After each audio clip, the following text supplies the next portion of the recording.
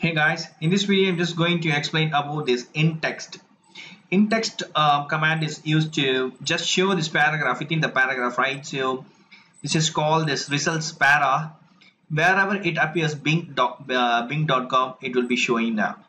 So for example, in this case, you can see this bing.com like that, or you can check with some other text also HTML like that see wherever in within the para it shows if it shows HTML it can it will display the messages. Here also I am going to um, show another thing is like yahoo.com wherever the yahoo.com it appears in the list it, it's showing exactly.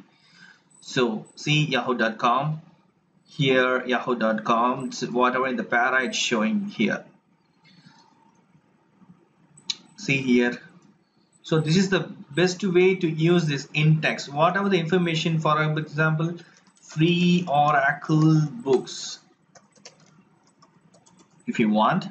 So you can free computer books and uh, free computer center.net you can check all those pdf stuff see oracle it's a free book here. It's available. It's not free but someone uploaded. Okay this is the way you can get the results using this in-text method. Hope this video is very much helpful. Thank you so much for watching my video. Please provide your comments and feedbacks in my video forms. Thank you. Bye.